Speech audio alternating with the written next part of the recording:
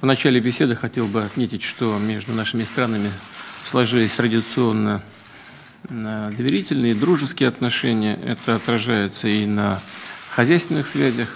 Считаем э, вашу страну одной из э, важных наших партнеров, страну-партнера в сфере экономического взаимодействия. Достаточно сказать, что в прошлом в первом квартале текущего года товарооборот увеличился сразу почти на 25%.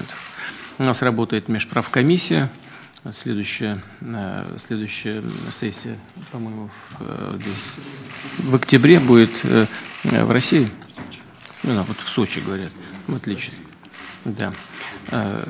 Мы очень рады вас видеть и иметь возможность обсудить весь комплекс наших двусторонних связей. Добро пожаловать. Уважаемый господин президент,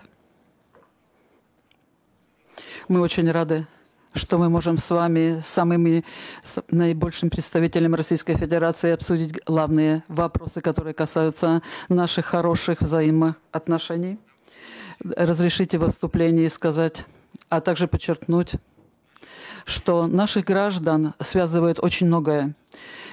Дружеские отношения, это было и в прошлом, и сегодня. Это были тесные связи, которые имеют корни в нашем э, прошлом. А также э, мы помним и борьбу, э, совместную борьбу против фашизма. Словакия не переписывает истории. Очень уважаем и не ставим под сомнение роль Красной Армии при освобождении территории нашей страны на кон в конце Второй мировой войны и уважаем героизм и жертвы, которые они принесли. И поэтому я очень рад, что до нашей встречи мы смогли возложить венок и почтить память э, всех тех, которые погибли э, во время э, ленинградской блокады сегодня на Пискаревском кладбище, сегодня в Петербурге.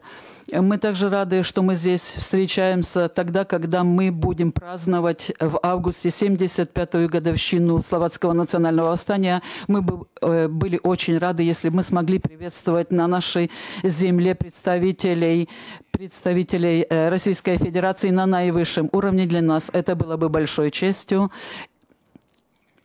И мы хотели бы, э, чтобы э, ваше присутствие э, было и во время этих праздников. Эм, у нас очень хороший, очень хороший диалог с господином премьером и с министрами.